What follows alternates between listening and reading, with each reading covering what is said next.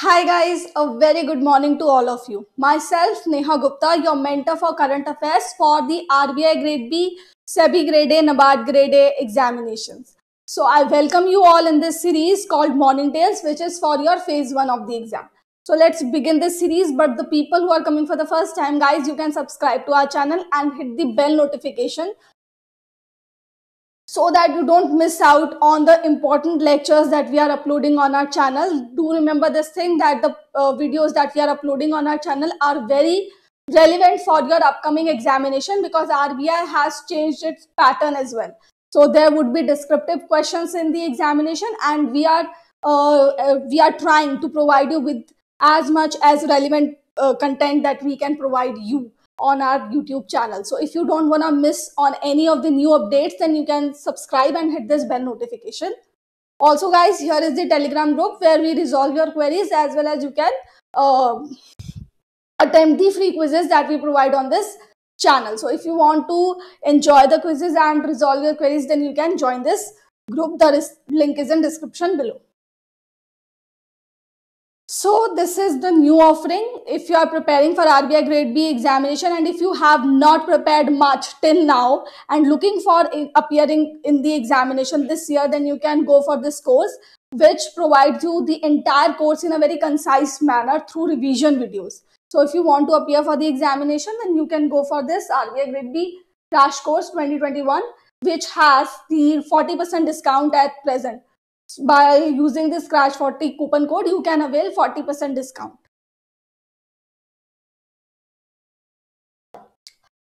So now let's begin our video with the first question which is which is the first highway in india which will feature a 12 kilometer long elevated corridor for the protection of wildlife.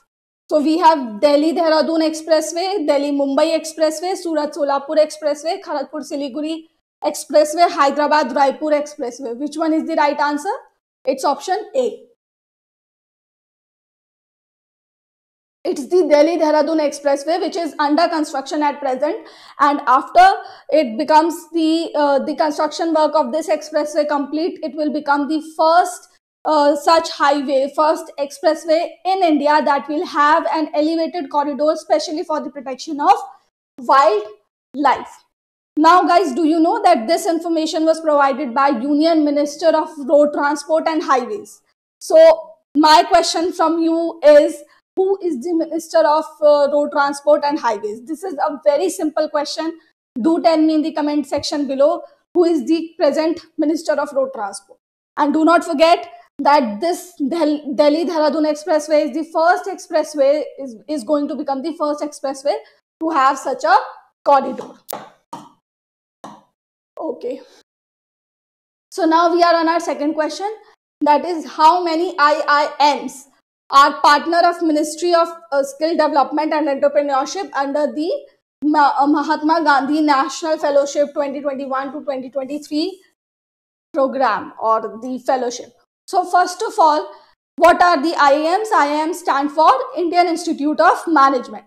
Now let's let us read out the options. Option A is 7, option B is uh, 3 option c is 5 option d is uh, 9 option c uh, option e is 6 how many iims have partnered with the ministry of skill development? The right answer is option d 9 so nine IIMs have partnered with the ministry in order to launch or in order to implement this Mahatma Gandhi National Fellowship for 2021 to 2023.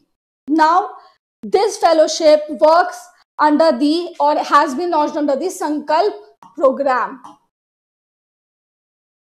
And this Sankalp scheme, uh, this Sankalp scheme is already uh, has been launched by the Ministry of Skill Development and it was launched in the year 2018. So this is something that you should remember. So it was launched in 2018 for a period of five years, 2018 to 2023. So this is the duration. And what is the purpose of this Sankalp? Skill enhancement of youngsters. So that is the purpose of Sankalp. And since this fellowship has also been launched under Sankalp, so what could be the purpose of this fellowship? Very basic skill enhancement of the fellows, of the youngsters that are enrolling in this fellowship. So this fellowship will work in two stages. in the first stage or in the first year, the students will get a stipend of 50,000 per month. And uh, in the second, uh, second phase, the students will get 60,000 stipend. So guys, this is the stipend and this is the very basic question that can be asked in the examination. So do remember the amount of stipend that is being provided under this fellowship. Now, what is the mechanism? How is the skill training being done under this fellowship? I will give you a brief uh, description of that as well. So in the first phase, the fellows will get training from the nine IIMs and the in the second stage, these fellows will use that training to implement in the district skill councils and committees. So what is the overall purpose? The overarching purpose of this fellowship is to help the government in uh, developing the skills by using the skills of these fellows. So that is the whole purpose of this fellowship. And the skill enhancement of this fellowship is at the district level. So basically, in order to enhance the district eco skill ecosystem, this fellowship will work. So that is the whole purpose of this fellowship. And do remember that it has been launched under the Sankalp scheme, which is a World Bank assisted program. So this is another very important feature of this Sankalp program. Now guys, do you know that this Sankalp also has a full form? And what is the full form of Sankalp? This is your question for the day for the day that you are going to tell me in the comment section below. Sankalp की full form आप लोगों को बतानी है. So one launch was this fellowship. There was another launch as well by the Ministry of Skill Development and that launch is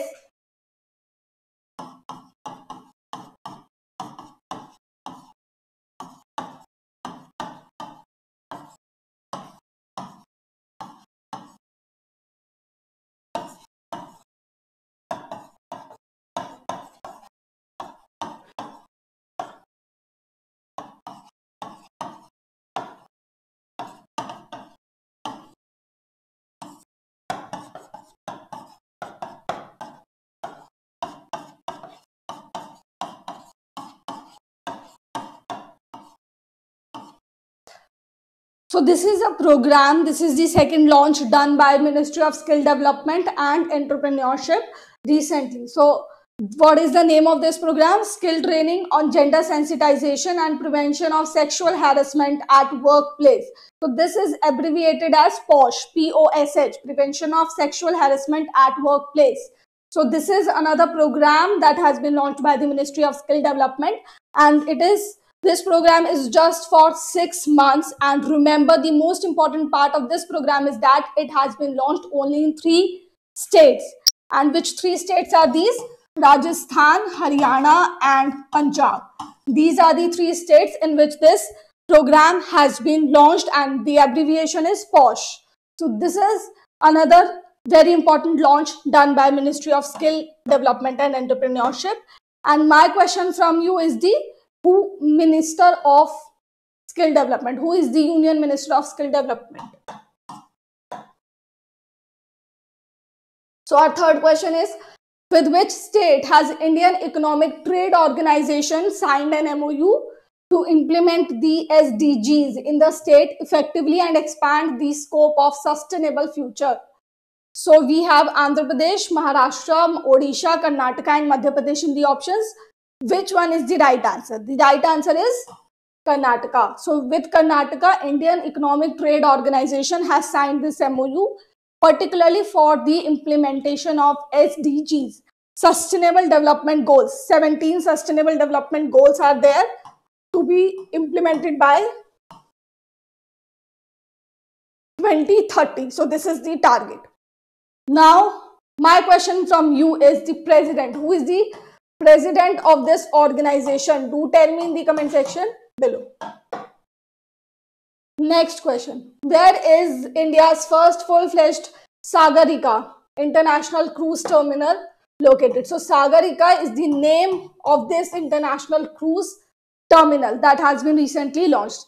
Now, where has it been launched? And remember that this launch was done by Prime Minister himself. So we have Kozhikode, Kollam, Mangalore, Kochi and Alappuzha in the options. Which one is the right answer? The right answer is Kochi. which is in Kerala.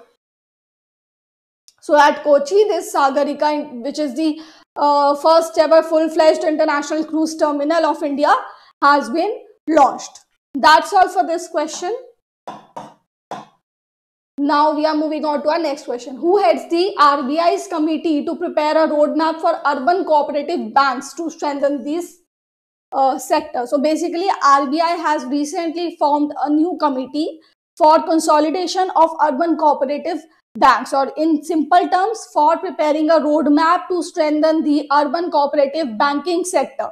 That is the purpose of this new committee that has been recently, very recently, I would say, formed by the Reserve Bank of India. Therefore, this committee is very important for you to remember. Now, who is the chairperson of this committee? We have BP Kanungo, NS Vishwanathan, MD Patra, MK Jain and Jayant Kumar. Dash in the options. Which one is the right answer? The right answer is option B.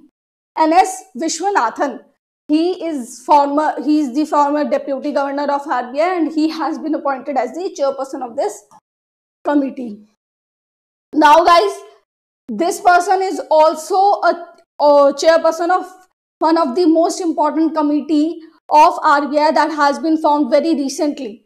So what is the name of that committee? The name is or the function is the Management of Payment Infrastructure Development Fund. So this is the scheme Payment Infrastructure Development Fund and for management of this fund, this committee was formed by RBI. Remember this thing.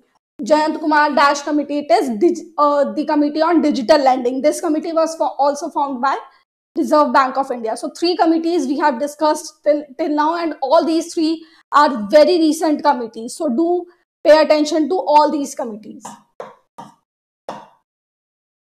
Next is which Indian player won the ICC Men's Player of the Month for January 2021 award.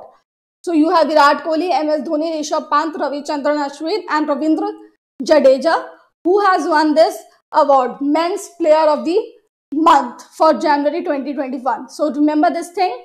This is the first edition of this award. This Player of the Month award has been recently instituted by International Cricket Council. So the right answer is Rishabh Pant. Apart from this, the South Africa's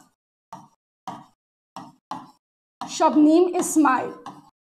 So this is the cricketer from South Africa. He has also won this award for the month of January 2021. And since this award are for the month period or these are the monthly awards, therefore January's and February's awardees are important for you to remember for the upcoming examination. So only these two people have won this award for the month of January 2021. Now my question from you is who is the president of ICC as well as where is the headquarters of ICC. So these are the two questions that you have to tell me in the comment section below. And that's all guys for today. I hope that you have enjoyed the video and do not forget to mention the answers in the comment section below because these questions, these answers will help you in memorizing the questions better. Thank you so much for watching the video.